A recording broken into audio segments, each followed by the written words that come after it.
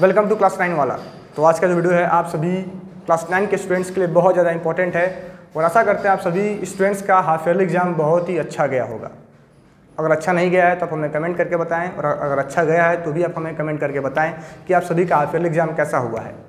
और इसके बाद से जो आपके दिमाग का सबसे बड़ा टेंशन है, जो आपको सबसे ज़्यादा इस समय परेशान करेगा, वह यह है आपका एनुअल एग्ज़ाम का डेट आपके फाइनल एग्ज़ाम का डेट कि आखिर हम लोग का क्लास नाइन्थ का एनुअल एग्ज़ाम कब होगा, हमारा फाइनल एग्ज़ाम कब होगा?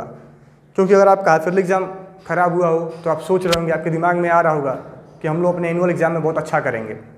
तो सही बात है, अगर आपका हाफ़ डिस्टर्ब हुआ है, ख़राब हुआ है, आपको लग रहा है उसमें आपके नंबर कम आएँगे तो आप अभी से अपने फाइनल एग्ज़ाम्स की प्रिपरेशन को स्टार्ट कर दें। क्योंकि अगर आप अभी से अपनी प्रिपरेशन स्टार्ट नहीं करेंगे तो लास्ट में आप चाह कर भी अपने एनुअल एग्ज़ाम्स में अपने फाइनल एग्ज़ाम में अच्छा नंबर स्कोर नहीं कर पाओगे। क्यों? क्योंकि उसका सबसे बड़ा रीज़न है वाइड सिलेबस आपका फुल क्वेश्चन आता है फुल सिलेबस आता है। जितने भी चैप्टर्स आपके दिए गए, सभी चैप्टर्स आपके एनुअल एग्ज़ाम में आते हैं। ठीक है? तो अभी से आप तैयारी अपनी स्टार्ट कर लो, थोड़ा भी लापरवाही ना करें आप। थोड़ा भी टाइम पास ना करें, थोड़ी भी लापरवाही ना करें, अभी से अपनी प्रिपरेशन को स्टार्ट कर लें। साथ ही साथ, कल के दिन मैंने एक वीडियो पोस्ट किया है, जिसका लिंक आपको वीडियो को डिस्क्रिप्शन में दिया गया है, उसको जाके आप एक बार देख लें। उसमें आप सभी को बताया गया है कि आप ऐसी क्या कुछ गलतियाँ करते हैं जिसके वजह से आपके हाफ़ ईयरली में नंबर आपके ख़राब आ जाते हैं?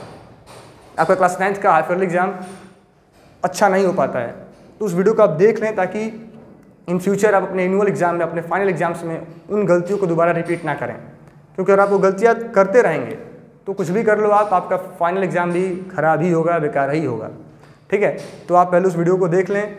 जिसका लिंक आपको वीडियो को डिस्क्रिप्शन में दिया गया है, ताकि आपको पता चल सके कि आपको क्या कुछ ऐसी गलतियाँ हैं जो दोबारा आपको रिपीट नहीं करनी है। तो अब आपको मैं बताने वाला हूँ कि आपका, आखिर आपका फाइनल एग्ज़ाम का डेट क्या हो सकता है। तो देखिए, अधिकतर स्कूल्स में जो आपका क्लास नाइन का फाइनल एग्ज़ाम होगा क्लास नाइन का फाइनल एग्ज़ाम होगा, इससे पहले तो पहले आपका एक यूनिट टेस्ट होगा। चाहे आप किसी भी स्कूल में पढ़ाई करते हो, आपका एक यूनिट टेस्ट होगा या फिर आपका एक पी टी थ्री एग्ज़ाम होगा, जिसको हम लोग जानते हैं पी टी थ्री के नाम से। ये आपका एक यूनिट टेस्ट होता है क्लास टेस्ट होता है, जो आपके जनवरी या फिर दिसंबर के लास्ट में कंडक्ट होगा।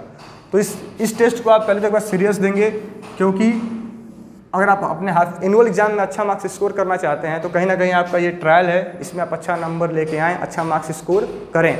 देन जो आपका क्लास नाइन का फाइनल एग्ज़ाम है फाइनल एग्ज़ाम है, या फिर जिसको हम लोग एनुअल एग्ज़ाम के नाम से भी जानते हैं यह जो आपका एग्ज़ाम है यह फिफ्टीन फेबररी के बाद से कभी भी आपका स्कूल कंडक्ट कर सकता है। क्योंकि इसके जस्ट बाद क्लास नाइन के जस्ट बाद आपका जो अगला क्लास है क्लास टेंथ होता है और उसमें सभी बच्चों को बोर्ड एग्ज़ाम देना होता है। तो स्कूल से भी चाहता है कि हम क्लास टेंथ की पढ़ाई क्लास टेंथ का सिलेबस बहुत जल्दी स्टार्ट करें। जनवरी, मार्च के स्टार्टिंग में स्टार्ट कर लें या फिर मार्च के एंड होते होते हम स्टार्ट कर दें। तो बहुत सारे स्कूल्स आपका एग्ज़ाम क्लास सेवन एट से पहले ही क्लास नाइन का एग्ज़ाम कंडक्ट कर देते हैं। अधिकतर स्कूल्स में ऐसा देखा गया है कि क्लास नाइन और क्लास इलेवन, यह दो इस क्लास का एग्ज़ाम वो लोग पहले ले लेते हैं और बाकी जो क्लास बचे होते हैं, क्लास सिक्स, सेवन, एट, इनका एग्ज़ाम वो लोग अपना आराम से मार्च में कंडक्ट करते हैं। तो आप अपनी प्रिपरेशन अभी से स्टार्ट कर लें, हंड्रेड परसेंट आपका एग्ज़ाम फिफ्टीन फरवरी के आसपास स्टार्ट हो जाएगा। साथ ही अगर आपको हमसे कुछ हेल्प चाहिए कि क्या कुछ चैप्टर्स आपको पढ़ाए जाएँ जो आपके एनुअल एग्ज़ाम्स में आने वाले हैं, जो अभी आपको स्कूल में पढ़ाया नहीं गया है, आप हमें कमेंट करके बताएँ उन सभी चैप्टर्स का। डिटेल सॉल्यूशन डिटेल एक्सप्लेनेशन आप सभी को प्रोवाइड किया जाएगा। Thank you.